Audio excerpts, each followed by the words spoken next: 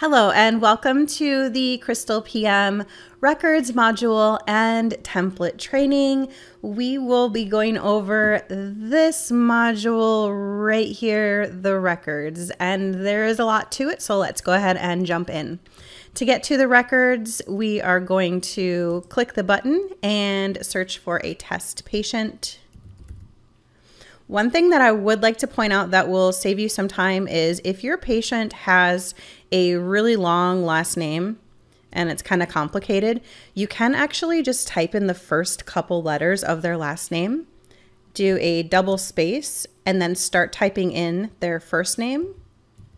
And then the system will match that and we are brought into the records. When you enter the records, your system should look like this. You should have the Crystal PM template loaded. Now, I don't have all of the tabs in mine. I've got it focused on the core tabs because everything else is actually optional. I wanted to keep it focused. If you do not have the Crystal PM template loaded, go back to your records training outline and download the template into your system. For your exams, you'll have either new patients or existing patients. New patients, that's pretty self explanatory. You're starting them completely from scratch. Existing patients, you may have had paper charts in your office. So you may need to scan those in. You may be from a data transfer. There are a couple different scenarios as far as existing patients go. Regardless if they are new or existing, online forms are going to be your friend. They are going to increase efficiency in your office, not only in the records, but for whoever is delegated to entering the patient information and the insurance information. Let me bring up a sample of the online forms. This is also in our help website. And under online services, you have patient forms. So patients are going to either at home or in your office, you can have a tablet doesn't have to be anything fancy. It literally just has to have access to the internet. So they're going to go online and they're going to fill out their patient information, their insurance, and their medical history. They will submit their forms to your office, and whoever that is delegated to is going to see that they are in kind of a holding basket until the patient actually comes in, at which point in time those online forms can be imported they will start a new patient if they are from scratch. And if it's an existing patient, it will allow your staff to verify the information that has changed and they can import the patient information. There are online forms tutorials and videos if you would like to get into that before you have your forms activated. For an example, I have all of the fields that are included in the online forms highlighted in blue. So it's your reason for visit, the primary, and if it applies, secondary chief complaints, PCP information, social history, their medical history, including medications, allergies, review of ocular systems, patient and family history, review of systems, and also a handful of contact lens questions if that applies to them. So you can see it's quite a bit of information and how this would save you time in the long run. Let's go through the scenario of a brand new patient who did not fill out the online forms. The first thing we want to do is create the medical record. I did make an appointment for my test patient today, so it's going to assign Dr. Stone to the medical record because Dr. Stone is who is associated on the appointment. So the system will use that logic. Of course, if that is not correct, maybe something changed last minute, you can assign a different doctor here. From here, you can basically start filling out the records. You can use a combination of the quick buttons. You can type into the fields. They don't have any chief complaint. They're just here for an annual exam, okay? Uh, you do want to select the smoking status every time, regardless of if they're a new patient or existing patient. Always select that from the dropdown. There's a little reminder here every visit. And then just go through and put in any findings here. Oops. We can leave everything else blank. Okay, they don't really have any ocular history or surgeries or anything like that, but their grandparent did have glaucoma and their sibling has hypertension. They really don't have a whole lot of review of systems to fill out other than some seasonal allergies, and they do take a multivitamin. All right, so that's going to get you a good start for filling out your new patient. Okay, next we're going to go through filling out an existing patient with no online forms. Just like a new patient, we'll create the medical record. But now, since we have some previous information to work with, we can actually go ahead and import that to help to fill some things out. So when we click Previous Master, we actually get a list of all of the exams that we have in Crystal. And what I can do is I can see that this is a dry eye evaluation. This is going to be from their appointment type that was assigned. You can also see that uh, this was by, this is the doctor's initials, who filled it out, and we can see that the DED tab, which is a dry eye tab, was filled out. So we really won't want to do that. We want it to come from a, a, comprehensive exam and we can see the tabs that were filled out here. Okay, so let's go ahead and import the previous information from this state of service. And there we go, it is working on it. Let's go ahead and select their language. And so we've got pretty much that filled out. Um, again, we do want to select the smoking status every time.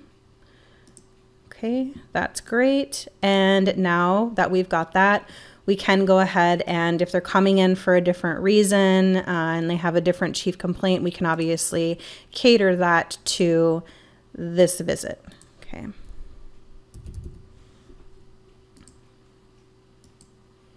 So we'll see everything that was filled out. Let's continue with the scenario of an existing patient and you want to view their history. There are a couple different ways to do that, so I will go over all of them. The first way would be if you want to see their exam exactly as you filled it out last time. What you're going to do is come down to old records and you'll be able to see a list of their prior exams. Okay, we know this one is dry eye, so let's go ahead and go to their last comprehensive exam. And what the system will do is it's only going to display the fields that you filled out. That's also why it's, you know, it's okay that um, you have more tabs than you need because when you're reviewing their old data, it only has what you actually filled out. So again, we can see exactly as we filled it out on that date of service. So you can go through these tabs. You'll notice it is pretty small, I apologize, but you'll see the date of service down here, 51722. If you wanted to toggle between the last visit down here and today's visit up here, so you can toggle back and forth as needed. Today's up here, prior visit is down here. The second way to view their history is if you're just looking for the history of the times that you filled out the exam tab, you can right click on it and you'll be able to see those dates of service. Now, it doesn't really tell you the type of service or the type of appointment, but it does let you know the different dates. So maybe we want to see what the exam tab looked on that date. So it is going to jump us directly to that tab. Okay, and we can obviously see the other dates of service there as well, but it's just a quick way to be able to jump around. Right clicking on the tabs and displaying the date of service here, it's basically the same on these little buttons. It's just a different way to access it, but it's the same exact functionality.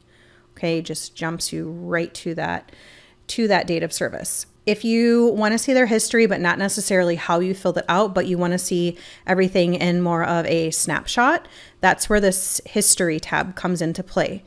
You can load all of the grids and it's going to show you all of the dates of service and then what you had filled out for that grid. So reason for visit, chief complaint history here, um, best corrected visual acuities. We've got their diagnosis and plan off to the side. So there's a number of different grids that you can check out a snapshot of their history here. There is also something that you can enable called the auto history. That is going to be in page options and auto history. What happens when you've got this enabled is when you click into a field, it's going to display exactly what you had filled in on that particular field and the dates of service. If you would like to use this to import previous information, you can do that field by field. Let's say you want to have the same value enter in, you can double click it. Now, as far as viewing the prior prescriptions, I get this question a lot. There's this little RX button up here that's for their prescription history. So this will allow you to view their spectacle and contact prescriptions as well as their frame and contact orders. Most of these buttons up here are for history as well, so you can play around with those as you start to get some data into your system. Now that we have the different types of patients and a few different scenarios, as well as viewing prior history, we can go through the rest of the tabs. I'm not going to go over every single field in each tab, but I will go over the unique key points for each tab. On the Chief Complaint tab, like I said before, you do need to make sure that you select the smoking status every time. That's going to trigger some behind the scenes things that are going to go through to the ARRA tab for government reporting. So regardless of if you're using it or not, it's always just a good idea to select that each time. On the medical history tab, we do have the medication and allergy grids. These are going to carry forward as you start to see the patient automatically. So you don't have to press previous button on these ones. They are just automatically going to display it. Uh, we do know that the medications and the allergies and everything like that are going to come through from the patient forms. So what the patient fills out is not going to come into here. So that will be up to you or your staff to fill out these grids. So once you have the patient reported medication, you can add medication. This will bring up the medication add window, which is connected to the drug RxNorm library set up by the government. I do get asked sometimes if you can add in your own medications or customize the list, and the answer is no because it is a government list that's they control basically. So what'll happen is to search for medication, you can basically just start typing in and you'll see that the system will intuitively try to guess uh, or display which medications you may be searching for. So if we choose one which is that's just at random.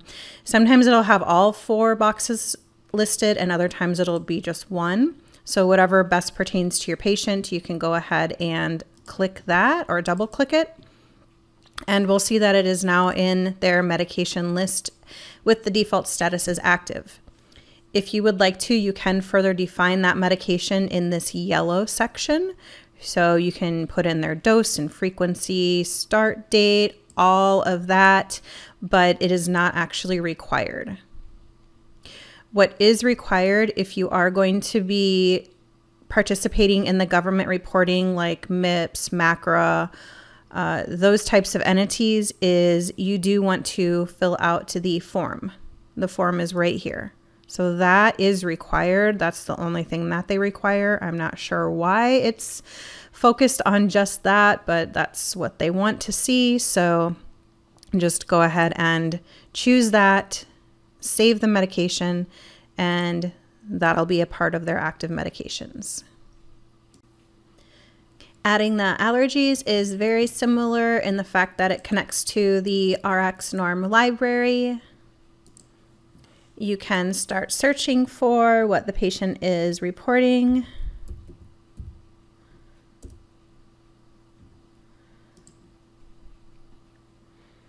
choose the one that best applies.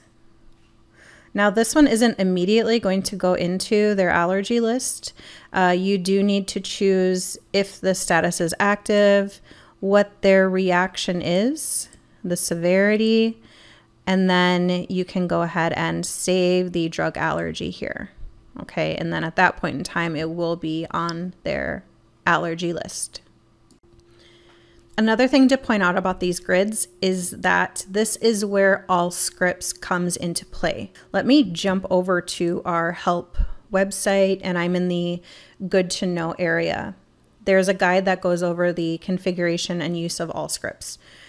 If you're thinking about signing up for Allscripts, you can do this at any point in time. This goes over everything. So, first, one of the doctors in your office will sign up for the basic version once the main doctor is signed up and you've got a master account, that doctor will log in and then within the settings tab is where they can add additional providers and or prescribe on behalf of users. I would suggest getting your Allscripts username and passwords set up and ready to go just in case Allscripts asks you for additional credentialing information. It's just good to have it ready to go. Once you've got that done and you are on your live version, that's where tech support can do the integration. They'll have you make sure that your username and your password is entered under admin employees, and then they will link your account together. You may have already paid for the enterprise version. If not, you'll be required to do that before tech support can integrate everything together. How this comes into the grids is you can press this CCR button, and I apologize, I don't have a play version to show you exactly how it looks, but essentially this is going to connect to Allscripts and their database as long as the patient has a allergy and medication history on file with them you'll be able to check off the medications and allergies you want to import and they will enter into these grids so depending on how many medications and or allergies your patient has, it can save you a little bit of time. Moving on to the pre-test tab, there's nothing super special to note about this. It's got your patient vitals as well as testing information. The tech tab is optional if you have a tech and you would like them to have a special tab that just has everything on it they need to enter so it's focused, you can definitely keep it or delete it.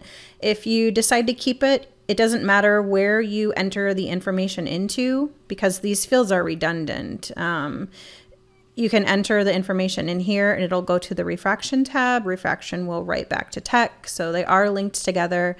The previous glass or previous contact uh, section goes to the contact tab and then the drops and the IOPs are going to go to the exam tab. The blue buttons that you see here are for machines. You can integrate an autorefractor, autokeratometer, lensometer. So there's a number of different machines that we can integrate with. Those you can find on our website, crystalpm.com. It gives you a list. If we are dealing with a patient that we've seen in Crystal before, or maybe from a data transfer, if they've got a previous prescription, you can import the previous prescription here. Like I said before, to view the previous history, you can click this RX button and it'll show you their prior glasses. Uh, unfortunately, you can't choose which prescription you want to import. Like if you wanted this one, you would just use that as a guide to key in the information. You can really only have it come from the most recent prescription. Um, this glasses correction 2 pertains to the um, the second position. So if they had like a single vision and then they had a pair of sunglasses last time, that's what the second one is for, not necessarily like two times ago. So there's that. If they've got a previous correction, you can fill it out here, import it from machine, you can key it in. Once you've got that filled out, you can send it down to the manifest refraction or if you're going to be doing an auto refraction, let's just go ahead and plug in some of those numbers here. There we are. If it's from an auto refraction or a manual refraction, it doesn't really matter. You can fill that out and we can send that down to the manifest refraction, which is actually on the refraction tab. Okay, and then maybe your tech needs to import the previous contact lens prescription. Same thing, they've got one on file, so we can easily import that from their last one. If the patient had filled out their online forms, these would be listed as well as long as they filled those out. So you can see kind of what their daily flow is for that. Okay. Tech can fill out their CL history. That's good. We've got some buttons, some quick buttons for drops. As you press these, it's going to put in the time from your computer and it automatically marks it OU. The IOPs, we have a couple of different types and methods to choose from, and then you can just enter the IOP here. Okay. All right, so tech is done. Uh, then we can go to the refraction tab. So we've already got that pretty much filled out. So they filled out the previous, they put in an auto refraction. Um, they sent it, remember over there, they sent it to the manifest refraction. So we've already got that filled out. And then the manifest is automatically going to transfer down to the, to the final. Okay, so regardless of if they send it over there or if you fill it out here, it's going to transfer right on down. We can make any prescription notes here, and then we can finalize the prescription. This pop-up will just allow you to do a once over to make sure that the prescription is correct because this is what your opticians are going to see if the patient is going to order glasses. Okay, so that's what they're going to see. And of course, that is in another training, but this is just a, a segue into that. That's how you finalize it.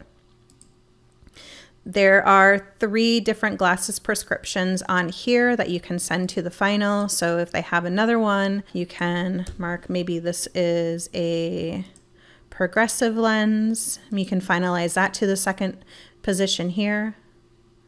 You can also rename these if you want to. Maybe this is their main pair of glasses and maybe this is like a sunglasses. So you can rename those if you want to, but it's not necessary. Sometimes it does help out your opticians though if you if you rename them for the patient. Uh, for this in, uh, intermediate add, in order to use that, let's actually clear this. So you'll enter the intermediate add here. There's a couple options to choose from, and then that will take these parameters here and send them over to Final Glasses 2. Okay, so that's what that is. Moving on to the exam tab, we've already got this partially filled out from our tech. We can come in here and this tab is unique in the fact that it has auto coding enabled, which you can disable if you don't like it, but it is there if you if you do. So when you press the F9 value, if there is an asterisk next to the value, that means that it is going to put in the corresponding diagnosis code for you. So if we choose Drusen here, it'll put in the code for us. I'll show you that in just a second. These buttons in the middle, they are dual purpose. They display the name of the category, but then they also are an equals button so you can send it over from left to right, okay? That's what that is. There is a way to add in more. I mean, there's a lot to choose from as far as the ones that are going to automatically put in a diagnosis code for you. But if you are interested in adding additional ones in, there is a guide that goes over that. Uh, it's probably one of the last things you wanted to do. Uh, just you want to have a, a good base on, on editing records before you start something like that. But there is a video and a PDF in the advanced editing section of our help website. Okay. All right, so we've got that filled out.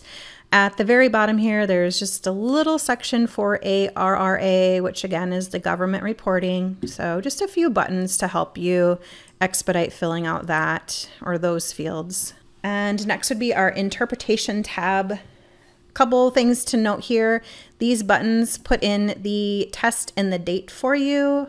You've got an all else normal button here. You can also fill in just like we did before with the drop downs or by typing in. This tab is set up for Medicare compliancy. So where we've got the data required for reports, these are two fields that they are very they're sticklers on. So make sure that you fill those out. So we've got photos we have visual fields gonioscopy and Amsler special testing one two and three and we've got the procedure section. I get asked a lot how we can import the images into crystal. There's two ways to do that the first way would be if your machine is capable of saving the image as an image file. you can import it into these little thumbnails here. So if we click on this, we can do upload. And then as long as the file is a JPEG, a GIF, a BMP, PNG, you can import that into this. I think that's me. Let's see. Yep. so you can import the image here. Uh, you can blow it up a little bit if you want to. But, you know, as you can see, it's an image file. So the pixels are not... Um, they're not as high res as it's going to be on your machine. Just keep that in mind, but it is going to give you a little bit of a thumbnail from your instrument. What I would suggest you do is if you don't already have a shared folder set up in your office, you may want to have your IT person set that up.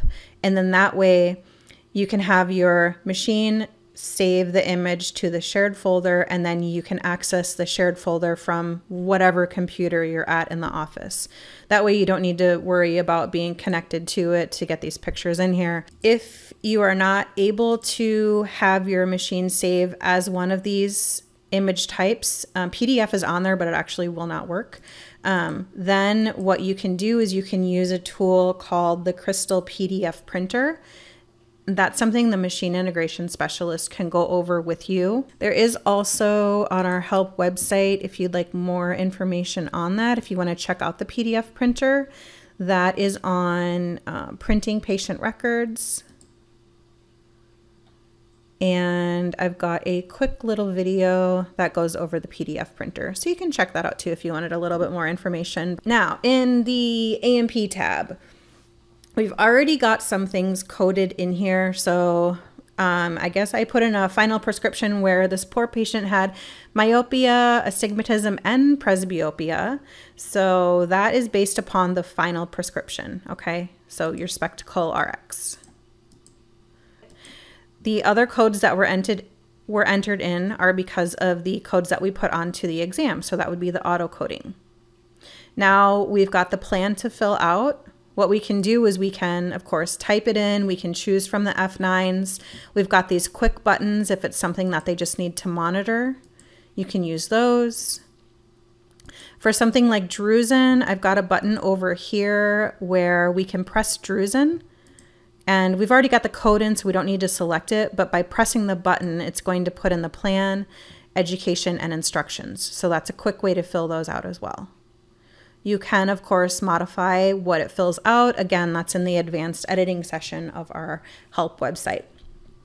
All right, so we've got that filled out. We can put in a return visit if needed. Maybe we just need to see the patient back in whoop, one year. Okay, we've got a um, the ocular photography filled out from the button that we pressed in the Interp tab. We can fill out any office visit codes here as well. Maybe we've got a refraction. Uh, let's say that we haven't done the contact lens tab yet, but maybe we need to do a refit normal. Uh, actually, let's do a fit. Okay, there we go. So the point is we've got our coding done. Whatever codes you enter into the A&P tab, they are going to go to what's called the routing slip or R slip. Go ahead and pop this open once you've got your coding done. This will allow you to associate your procedure codes with the corresponding diagnosis code. Okay, you can click them off, you can choose the letters at the top, however you need to do it. And then these codes, your selections here, and then any notes that you may need to make to billing are going to stay on this routing slip. And this routing slip is going to electronically follow the patient around. So you are done with them in records. Then next, if they go to optical, your optical codes, glasses, lenses, wipes, whatever, are going to be added to the same routing slip.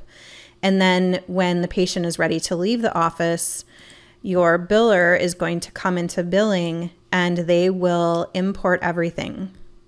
They'll see that there is a routing slip available.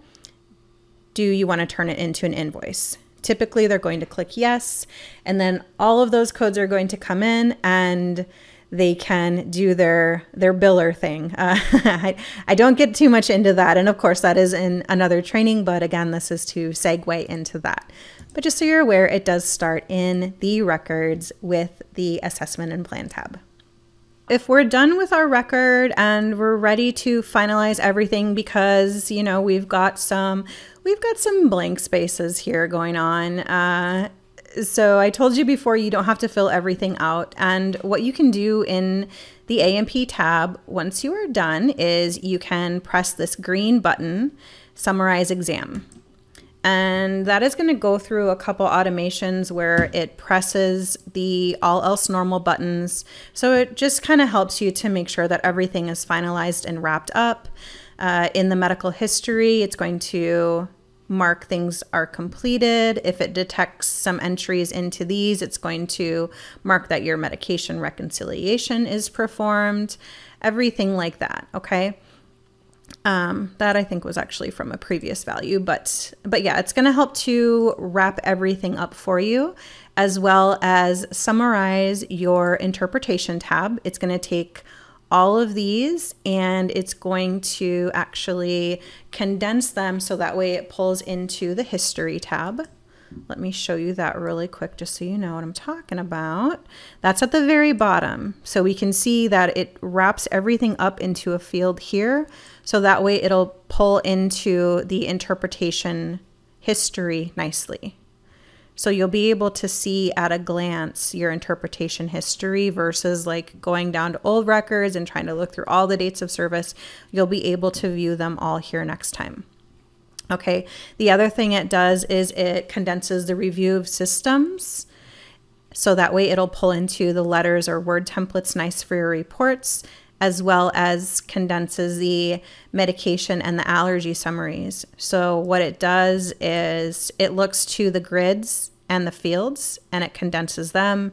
Uh, same thing for the for the allergies, looks to both of them and it condenses. Okay, so that is the purpose behind that. So go ahead and press that once you're all done.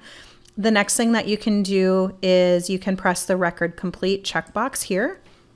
This is optional. You do not need to do that, but uh, it is kind of nice, especially when you first start, to be able to run the report at the end of the day just to see if there's any records that you need to go back and visit. So, once again, that is on our help uh, website here under Good to Know.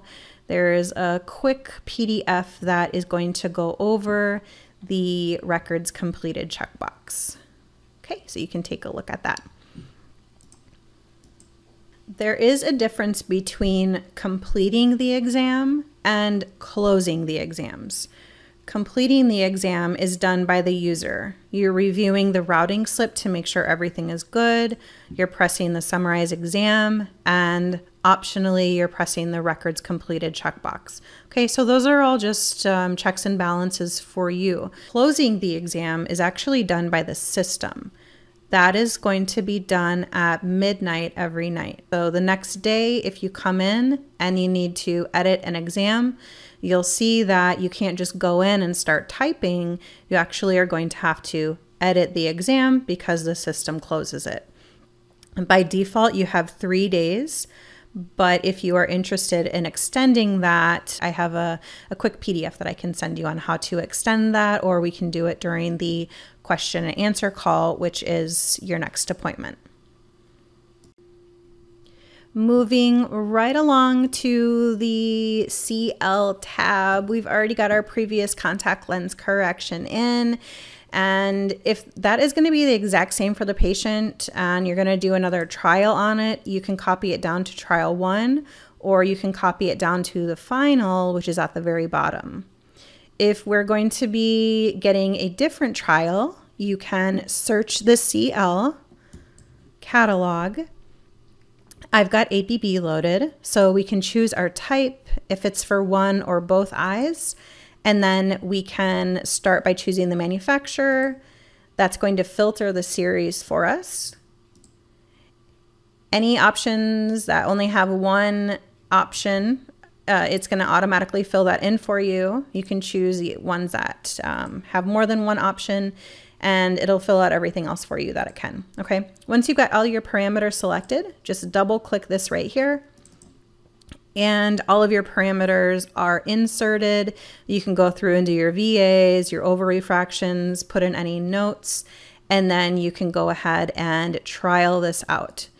Just like the glasses, it's going to pop up a little window for you to check over, make sure that everything is set for your opticians.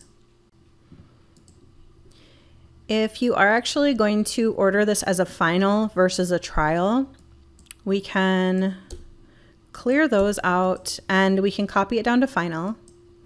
Or if you want to start in the final section, you've still got that search CL button here, and then we can finalize it right from here. The major difference between the two is that if you finalize it from the trial section, it's going to put trial right up here in the notes, and the final is not going to. The reason for that is because when we look at the history, if it's a trial, it's going to list trial in the notes. So that way you can tell the difference between if it was a trial or if it doesn't have anything like that in the notes, it's implied that it is a, a final contact lens. So that's one way to do it. You can also, just kind of like how we did the glasses labels, they show up as the type. So you could actually come into your prescriptions here and you could say this is a uh, trial. Oops. So that is another way to designate that it is actually a trial versus a final. Okay. But you do need to make sure that you press one of these buttons in order to send it to this little window so that way your opticians can create the order for you. I have for my search CL catalog, I've got ABB selected you can change that and choose which one you want. That's done in admin. And oh, I've got this. Uh, it the system detected that there's a final contact lens prescription, so it's just asking me if I want to upload it to the portal. That's for the uh, the law where you have to either print out and have the patient sign and then scan it in, or easier you can upload it to their portal. So that's what that is. Um, I'm just gonna choose no for now. Okay, and then admin, we have integrations. And this is where you can choose a catalog that you want. We don't charge for any of them, but in order to do CLX, you do actually have, have to have an account, which you can enter. There's a little tiny, tiny plus button right up here. You can enter your account information, your client ID and office, and then you can update the catalog. All the other ones, you just update the catalog and it'll start to download it and then you're good to go. All right, so there's that. It is important to note that you need to keep your catalogs up to date manually. Uh, we do not update them for you, and so you'll want to come back to this section periodically just to see if there is an update available. Um, usually like every couple months, I would say, or if you notice that you're trying to order a new contact and it's not in the list, then go and see if there's an update available. And there's a friendly reminder right up here on how to do that, just because it is, you know, it's kind of a lot when you're first starting out. So I made a little reminder for you right there. Uh, that is pretty much it for the contact lens. Um, oh, if you are going to be ordering contact lenses, excuse me, through Crystal into one of our vendors, I do have a quick video that goes over it on our help website. Again, in the good to know section, it goes over integration and ordering, choosing the vendor, uh, creating the RX and records. So we've basically done all of that. Um, and then ordering and batching. So that's the last part of it. So you can go ahead and skip ahead if you want to, watch the ordering and batching. Uh, otherwise, they should go over that in your optical training as well. Okay, yeah, but that's pretty much it for contacts. Moving right along, we're almost done, guys, uh, to the Drug RX tab. If you are on the enterprise version of Allscripts, you do not need to fill this out. You will click ePrescribe. That will launch the Allscripts interface. You'll do everything from choosing your script and sending it through to your preferred pharmacy, all in Allscripts, and then it's going to write back into Crystal. If you're not e-prescribing, you can definitely fill this out and then you can just go ahead and print it. There are two Drug RX tabs available. This one is pretty straightforward. It's got drop downs that you can change, just like your other drop downs. Um, choose your SIG. Your DEA number is automatically going to fill in for you. The other version is not as straightforward, but I do want to point it out because if you're doing any government reported, you need to use this alternate version. So in admin company and then records, we're going to use the new drug RX input.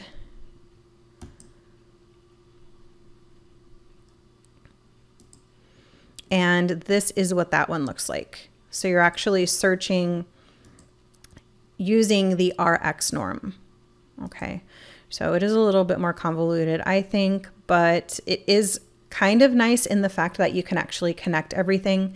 So if you've got a medication, you can actually sign a signature and you can assign all of this in one swoop for sort of like your normal values. If you are going to be using this, there is a, of course, there's a tutorial that goes over that on here. It helps to explain a little bit of that. We can also go over that if you do have any questions, but it's there just in case you need it. Okay. Prescription tab is just the prescriptions that you did. It's just another way to access it, but you do also have these little short buttons up here. Okay.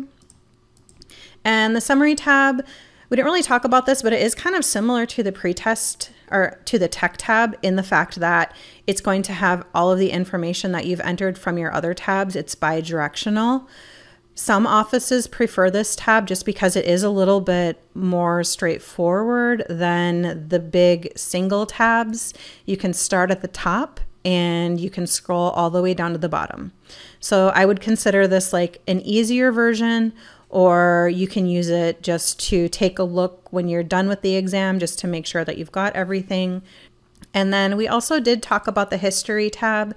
That's going to give you a snapshot of your history. And the DT tab is for data transfers, which as I said before, that is going to be in a separate short video. And last but not least, we have the ARRA tab. I will not be going over this tab. I just did want to point out that it will be in the template even if you do not do government reporting, it's part of our certification. So it'll just chill at the end, whether you use it or not.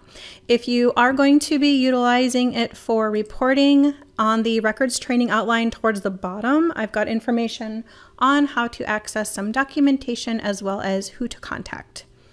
That concludes the records module training. So the next step, if we scroll up a little bit, is the post video Q&A call. I'll have you share your screen. We'll go through any questions that you have regarding the template and its functionality. So I will talk to you then. Thank you so much for watching.